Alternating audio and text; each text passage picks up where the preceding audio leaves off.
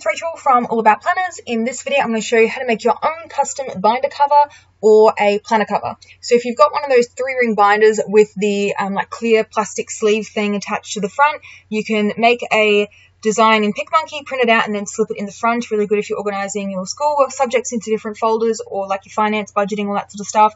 If you uh, wanted to make a custom um, planner cover and then like laminate it, do your punching, and then add it to the front of like your Happy Planner, for example, you can use this same tutorial for that as well.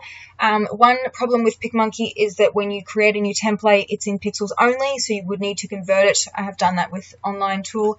Um, but if you're doing something non-standard page size like Happy Planner or even Erin Condren, pretty much any of them that are like 7 by 9 I would make it at full page size. So if you're in the US, that would be US size paper, 8.5 by 11 inches. If you're in Australia like I am, or if you're in the UK where we use A4, you would just make it at A4 page size and then when you want to print it out, you would change the page size in your printer menu. All you need to do is just go custom page size, enter in the dimensions, click print, trim, and, and then it's done. So I do have a link down below if you're not sure where to find that setting in your printer menu. Um, so long story short, make it at full page size and then you can resize it to whatever you want later on, A5, 7 by 9 whatever.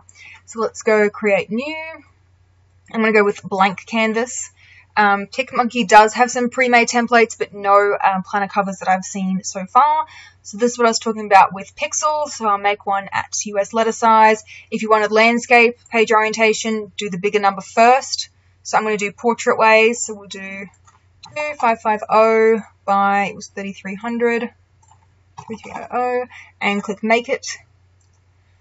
So it will load a blank template where you can either add a um, digital paper, which you've uploaded, or you can use their textures menu. So I'll just show you their textures menu first. So they have a whole bunch of backgrounds here that you can choose from. Um, most of these I think would be better for like a photo background, maybe for an invitation or something like that. For a binder cover or a planner cover, I like these five down the bottom here. In particular, I like this seasonal patterns. Now it does say seasonal and some of them like Christmas theme because I'm filming this in December. Um, if uh, it changes though, just keep in mind because it does say seasonal. So if you like a pattern, maybe print it out and, and use it now. Um, really love this flamingo. How cute is that? I really like these hearts as well. Some other hearts. So you can click around and it will show you a little preview. That looks really cute. You can change the scale of the pattern absolutely love this menu and this is the main reason that I recommend using PicMonkey for a binder cover. You can make it larger, you can make it smaller. That's not um, very easy to do in Photoshop and this one here, if you untick that, it will make it a bit squishy so I recommend that you keep the proportions. Um, but yeah, you can easily just change the size of it. So I'm going to go with this hearts one here, make it a little bit bigger. And then when you're happy with it, you can hit apply. If you like um, this design, but you maybe want it to be a bit more of like a background, just click fade and it will reduce, I guess, like the intensity. Um, what it does, oh, there you go. On the others, make a bit more lighter. Um, I'm happy with, I'm happy with that though, so let's click apply. And now we can add whatever we want to put on the front. So to get like a frame, I call it, go to basic. So we can add a circle, for example, and then you can add your um, text over the top to align to the center, you see that red line that appears and you sort of feel it like snap a bit, similar to in Photoshop. Um, that means it's been aligned to the middle of your page. If you wanted it in the center, just wait until the two red lines cross like that. I personally prefer to have it um, up the top a bit rather than in the center, but up to you. You can do a circle, a square, oval, any of these shapes here. I actually want to show you though some of their others, which is the main reason why I would use PicMonkey as well as their patterns tool. They have some really nice frames down here, tons to choose from as you can see. These ones, these are the ones that I really like. Nice dotted border, all these frames, really pretty. You could have just a colored background, have um, this one here, put your letter like R for your name in the middle. I will do a couple of different um, designs which will be in the blog post which will accompany this video. I'll have the link down below just to show you some finished examples. I won't make them all while I do this video. It'll end up being too long, but I'll just show you some examples if you want some ideas. Quite like this frame, so let's add that one in. And just left click and drag to reduce the size. Just left click again and drag with your mouse to move it around. I don't mind the black and the black together, but if you want to, you can change the color here. If there are colors that you like to use and you want to keep it all coordinated, you know, you want to use the same colors for your printables and all your different colors, maybe you want to do one cover um, where it's like a blue background with purple and then the other cover you do the reverse. If there's colors that you like, you can add them to what PicMonkey calls a brand kit. Um, and you can see these ones down here are the ones that I've added which look quite nice. If you're not sure about colors, I will have a link down below to some of my favorite color tools. Um, Design Seeds is my favorite though, just if you want to jump straight to the best one. Um, Google Design Seeds has some really nice color themes. You can also just move this thingy around until you get a color that you like. If there is a color um, that you like to use for everything and you've got the color code, you can type it in here, which is the six digit hex code.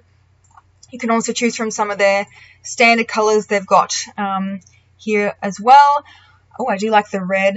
The red look quite nice, but I think I'm going to go with pink because pink and black always looks good.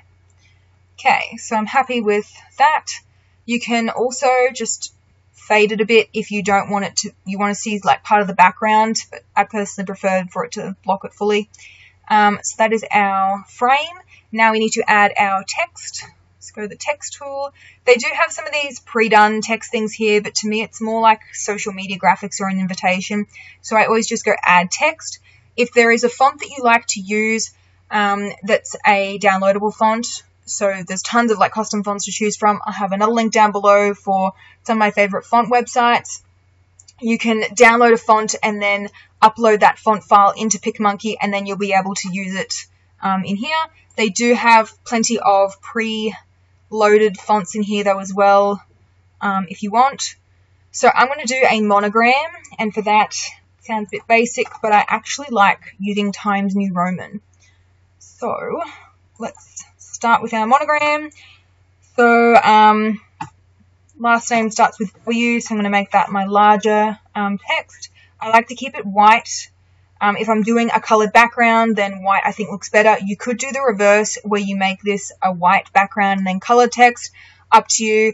I'm going to just increase my font size to, let's say like 400, even bigger.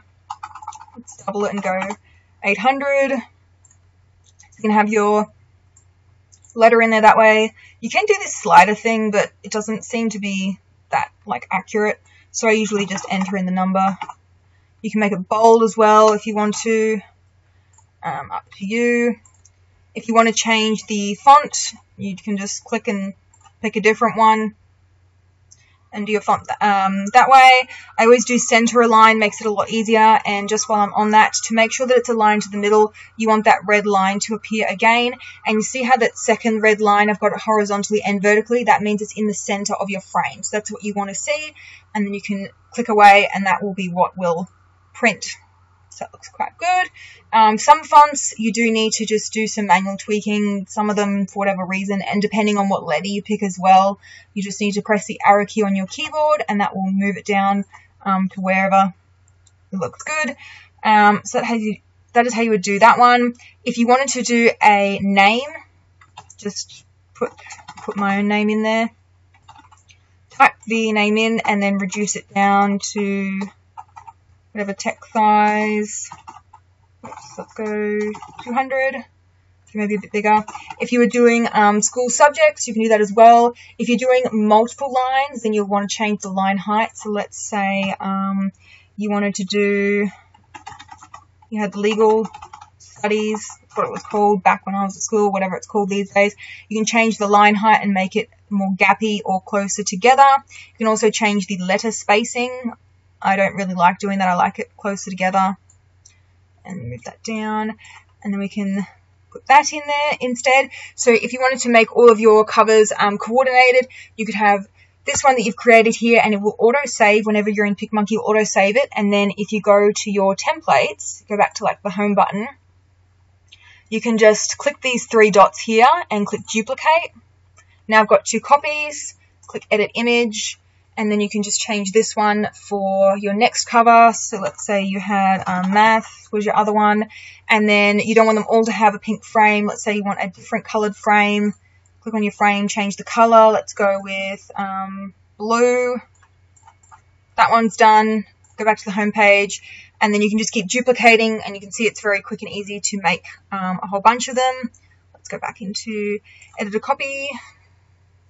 You can change the frame too. I just like a circle when I'm doing a cover. I don't know why. I just think a circle looks good. If you've got a long um, title though, if you were doing like a family binder and you had like like um, cleaning schedules or something, I know that has a long text, then a square tends to look better with multiple lines of text. Two lines, okay with a circle, but if you're going to do three, I would go with a square frame instead. Um, now, I just did just want to show you if you wanted to add your own pattern. So one thing that's kind of a little frustrating I've found, I've not found a way to get rid of the texture or the background once you've added it. So it's not showing like in a layer here, for example, that I can just delete and change out the um, pattern. So you would need to go from scratch. If anyone has a different way, they've done something similar and they know how to delete out the pattern, please do let me know because otherwise you need to go and make a new template. I'm just going to make this at any size just to show you how you bring in a pattern yourself. So if you've got a digital paper, um, Etsy, great place to find heaps of them. They're very cheap and they're also really good as well if you want to do different colors. You might have um, polka dots is like your theme and then you can have different colors. So I just uploaded one that I've made in Photoshop which is in my graphic design resources shop called Paper Cravings on Etsy. I'll have the link down below. So I just made this polka dot pattern, upload it in, you just drag it from the file on your computer and drop it into PicMonkey.